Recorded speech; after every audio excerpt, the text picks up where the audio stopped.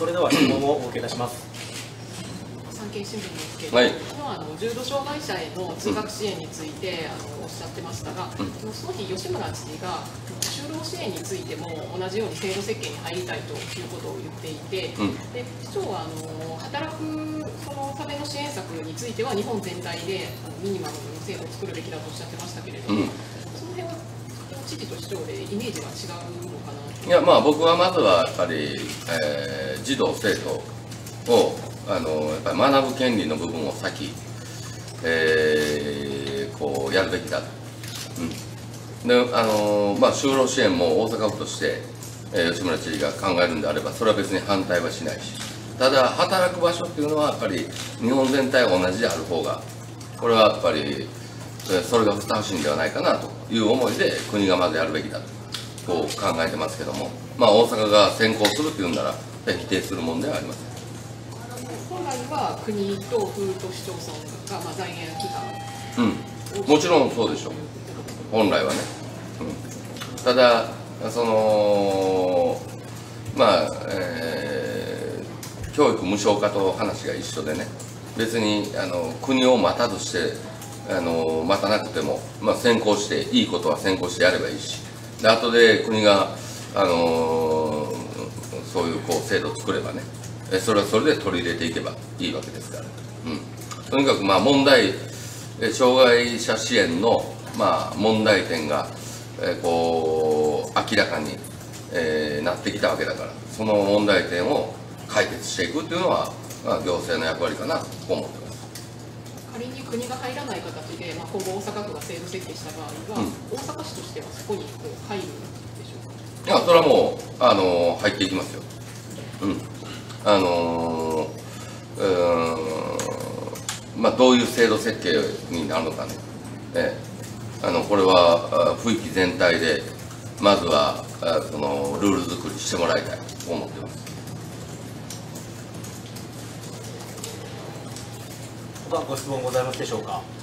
今日ですうん。今日法適用の大統領会議、この後行われますけれども、うん。あの8月26日に開催大をやって、その後が9月の中旬ということで、あのうんまあ、今後進んでいきそうなんですけれども、まあ、ちょっと若干、後ろ倒しなのかなと思うんですが、スケジュール感どうでしょう？か。いやまあそんなもんなんだらない。うん。あの盆明けにやると言ってたから。うん。まあ別にえー、こううんあのうん後ろ倒しとは思いません福祉通信本部会議で、あの開発大には、えーと、維新の議員の確認はしてるわけですけれども、うんまあ、今回、8月26日に改めて、まあ、あの市長として確認したいこととかですね、あの正しい決め方とかあるんでしょうか？いや師匠としてというよりもあの前回開発大学の、あの先生方来ていただいた時は維新以外はボイコットしたわけだから、うん、やっぱり財政的な議論があるとあいうことを、まあ、他の会派は言ってきたわけだからね、えーそういう皆さんも参加してあのそういう皆さんが、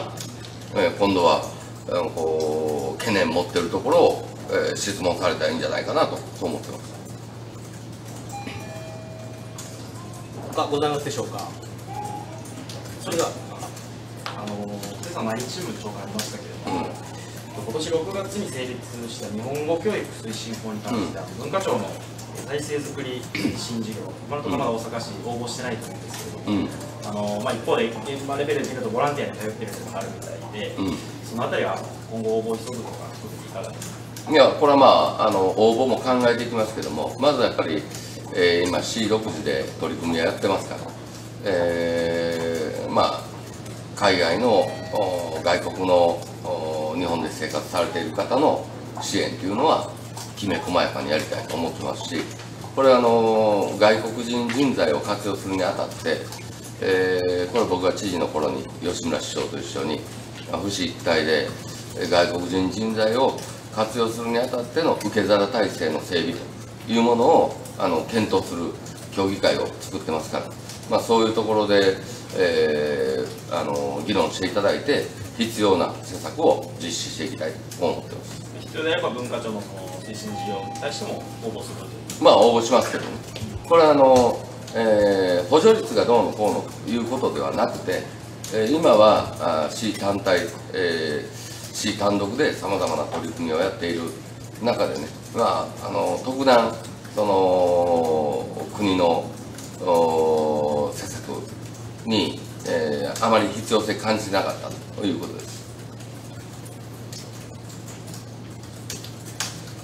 他よろしいでしょうか？それでは終了いたします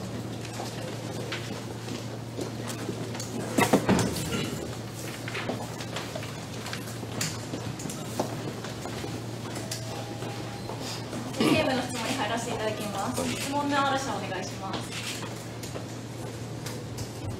産経ですけれども、うん一部報道であの吉村さんが、うんえー党の副代表に就任する予定だというのがありましたけれども、うん代表としてはどのようにお考えですか？あの今度のうん常任役員会で僕から提案をしたいそう思ってます。まあ理由としてはどういうところになるんでしょうか？まあ、大阪維新の会の代表代行だし、えー今回の参議院の選挙においても、えーまあ、全国、ね、あの応援に行ってくれたし、で現在、大阪府知事なんで、ねまああのうんそういうこうこれまでの経験を踏まえて、えーまああの維新の日本維新の会というのは国会議員を頂点としたピラミッドではないわけで、うん、やっぱりあのあの大阪府の知事というね、えーそういう中で広域行政を担っている立場にあるわけだ。から、まあ、その経験もやっぱり日本維新の会という政党には必要だろうということで、えー副代表という形でね、まあ、あの提案をしたい。ただあの今、えーこう大型選挙が終わったら党のルールとしてはこれは代表選挙というものをどう取り扱うかということを今あの党員の特別党員の皆さんにあの測っているところですから、まあ、その結果によりますけども、まあ、僕が代表であれば、えー吉村さんに、あのー副代表という形でね日本維新の会の執行部の中にも入ってもらいたいと思ってます。関連で、まあ、今、えっと今井先生が、まあ、副議員が副代表されてると思うんですけど、うん。副代表が二人体制にするという考えで。す副代表は他にも、あのーえーいるんでね、あのーえーその規約上、えー要は、うん、何人何人っていうか複数名だ代表が指名するものになってないかな、うん、だからそれは別に問題ありませんその他、まあ、政調会長なり、その辺で、まあ、人事でお考えのところというのは他にありますでしょうか？いや政調会長はもう浅田今あのさんがやってくれてるんでえーそのままでいいんじゃないですか他にあられますか？内容でした終わります。うんありがとうございます。